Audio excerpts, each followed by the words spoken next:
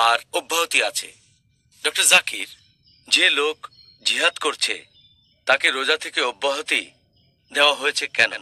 যখন কোনো লোক জেহাদে অংশগ্রহণ করছে, রোজা রাখলে তো সে দুর্বল হয়ে পড়বে, সে তখন ভালোভাবে যুদ্ধ করতে পারবে না, যেটা সে করছে আল্লাহ সুবান খাতিরে। এজন্য আমাদের প্রিয় নবী বলেছেন, এটা আছে সহি মুসলিমে, খণ্ড নম্বর দুই, অধ্যায় নম্বর চারশো বিশ, বুক অব হাস্টিং, হাদিস নম্বর দুই হাজার চারশো ছিয়াশি, যে একবার নবী মোহাম্মদ সাল্লাম জিহাদের জন্য রওনা হচ্ছেন, তখন সাহাবিগণকে বললেন, শত্রুর মুখোমুখি হতে যাচ্ছি, রোজা না রাখলে শরীরে শক্তি পাব, রোজা ভেঙে ফেলো।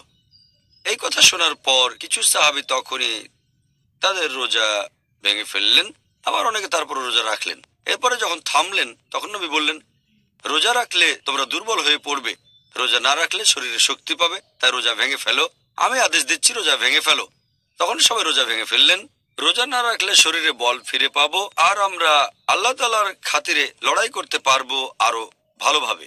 তাহলে জেতার সম্ভাবনা বেশি থাকবে ইনশাল্লাহ আচ্ছা সুন্দর বলেছেন। ডক্টর জাকির, আমরা